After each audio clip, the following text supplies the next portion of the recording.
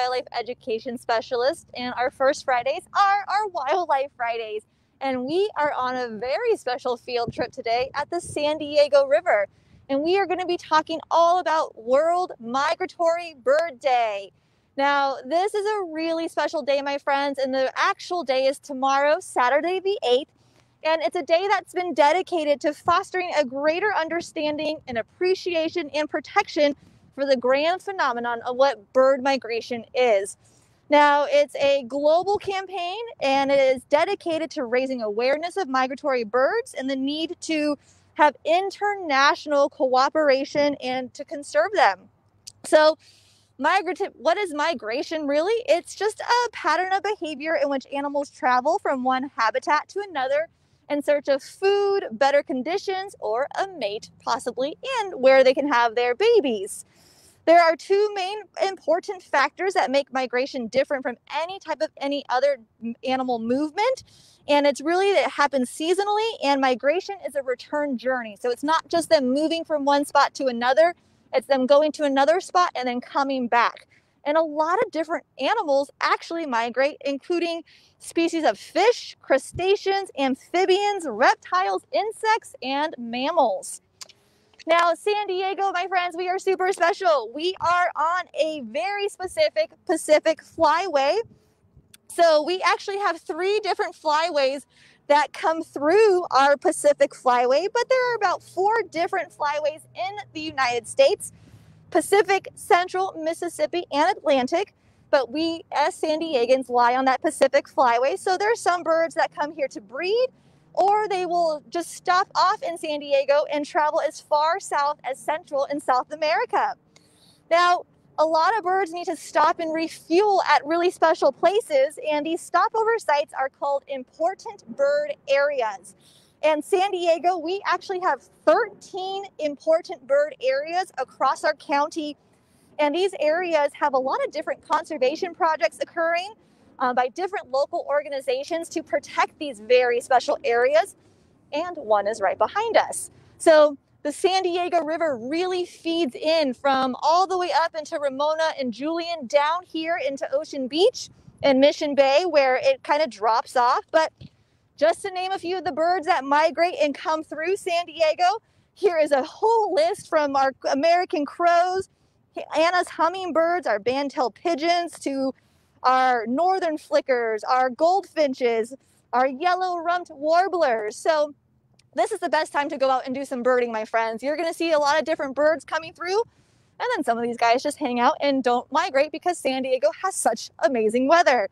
But a few of those different areas of those really important bird areas, the San Diego River, the San Diego Bay, Tijuana River Reserve, and um, the Otay Sweetwater National Wildlife Refuge. So, really specific areas that we want to make sure we are doing everything to protect, conserve, and make sure they stay clean. Some of us San Diegans might remember the river is just a place where people dump trash all the time, but thankfully we have a wonderful organization here in San Diego called the San Diego River Park Foundation who is solely dedicated to keeping this river pristine for birds like this behind me. Now, for, okay, I'm to try to step out and not fall away. For Migratory Bird Day, my friends, they have highlighted this very Migratory Bird Day. They kind of have, there's one organization that takes credit and kind of responsibility for educating people about this special day. And they do have a few featured species. We have the green winged teal, which is a duck, a royal tern, turkey vulture, yellow warbler, or wood thrush, and those are just to name a few. But what we're looking at are possibly royal terns, my friends. I'm not always a great at birding, but there are like the magnificent tern, the royal tern, and they all look very similar, but they have very similar habits. So our royal terns are the ones who are flying gracefully and slowly along the coastlines, diving for fish. And then once they find that fish, they use their dagger like beaks to go ahead and get that nice little kill for themselves. They are social birds. They don't look very social right now, my friends, but there are usually a lot more royal terns and terns in general. But we have avocets over here. We have great blue herons. We have um, all sorts of herons and terns around here. So the river, again, beautiful little guy right here. I should know my birds a lot better than I do right now, my friends. But these social birds, what they're going to do is um, kind of hang out here as they're going to mate and have babies. And kind of cool little note the oldest royal tern ever to be known in the wild was at least 30 years old and they were found in Belize in 2013 and it was a bird that was banded in North Carolina in 1983. So my friends, migratory birds, super awesome. If you see on the screen, you'll see a turkey vulture next to a, a royal tern, next to an Anna's hummingbird. And these animals, oh, we have turkey vultures, we have all of these birds around here. But really, my friends, since we're at Project Wildlife, we are in the height of baby season and we are seeing all these animals come through to us. So, really, what can we do to help? Always reducing, reusing, recycling, huge, huge things to help these animals out. Picking up trash whenever we possibly can so it's not making its way into this river that feeds directly into our ocean. We want to make sure we're helping all these animals out as much as possible. Can you see all this human development around us? Right now, they are redoing one of the bridges that connects Mission Bay to, um, my gosh, over here in San Diego. That's an area that I can, Ocean Beach area as well. so you can see how much is going around these birds every single day while they're trying to mate, while they're trying to nest and have children, while they're just trying to live their life. So making sure that we can do everything possible on our end so, what can we do to help migratory birds? Is making sure that we make our windows obvious. So, a lot of bird strikes come to, to Project Wildlife. And so, different things we can use are decals. But when you're using those decals, you don't want to have them so separated because then the birds can't see them. You want to have them pretty close together. And then also, just by lower, lowering your blinds halfway, breaks up that window. And so it helps these animals see because a lot of birds actually migrate at nighttime. So the next thing we can do is make sure we go lights out between dusk and dawn, trying to cover up those lights that come through our houses or that you have outside. These lights can really distract some of these birds and they can get really disoriented. So doing a whole lights out for the dusk and dawn time is really going to help these migratory birds go to iNaturalist. This is something that you can do to become a citizen scientist. Is that when you're out and about, maybe you're walking along the river or you're out just outside your house, you can go to iNaturalist and capture plant species, animal species, so that they can utilize this information to see what different types of animals and plants are around your neighborhood.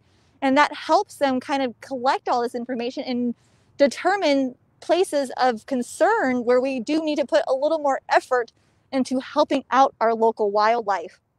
And then always become an advocate, speaking up for our wildlife, speaking up for just all of these natural spaces that we have. Every time they go ahead and put new development in, they usually want to ask some of the residents that are around that area. And maybe we just need to do a little bit more to preserve more spaces for these animals as we continue to encroach on them sometimes we don't always have the best intentions and we get upset when we put our house on their home and we get mad when they come back around our home. So, having a little bit more compassion for our wild neighbors and learning a thing or two on the benefits that they provide for us and really enjoying nature as much as we can. We can learn a lot from nature, my friends, and we usually do. And so, it's really important that we do everything we possibly can to help out our local wild animals. If you ever go down and you're around the river or different bays or you're on a hike and you come across a sick or injured wild animal, please be careful. And if you need to call our resources, you can definitely do that. And we bring that animal into Project Wildlife as soon as you can. But if you don't know if it's injured or orphaned, leave it where it's at. We want to make sure that we're not picking up healthy wild animals and bringing them into our care center. My friends, Project Wildlife is in the height of their baby season. We are averaging 100 patients a day right now. So it is incredibly important to only intervene when you have to. And then if you're able donate and help support our plight, We really do all of this based on donations from the public, like members of you guys, really help support us in what we do every single day to get these animals into our center, get them healthy, rehabilitated, and released back out. That is our ultimate goal, my friends. But anything you can contribute to Project Wildlife, it is going to be matched as well. So if you have a second, I almost fell. If you have the ability to donate today, please do so. But if you can't, and people come to you asking you for help with wildlife issues, send them to our website, sdhumane.org. If you go to our coexist page, you will learn a ton of information, not only about seabirds, shorebirds, all sorts of different wild animals out there, my friends. So let's do our part, help out our wildlife. They help us out. Come down to the San Diego River, pick up some trash while you're here, and let's do our part to help out these beautiful animals that call San Diego home, whether it's just for a moment in time when they're migrating through or if this is their home spot. We can do everything we can to help out these animals right behind us as well.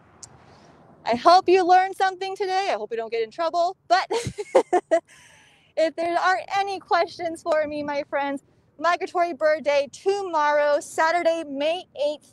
It's a wonderful day to celebrate. Go out, get some binoculars, do some birding, look up the day. There's a special website dedicated to Migratory Bird Day 2021. And thank you, everyone. I hope you learned something today. Get outside. It's going to be a beautiful weekend, everyone, here in San Diego. Thanks, guys. Have a great day today.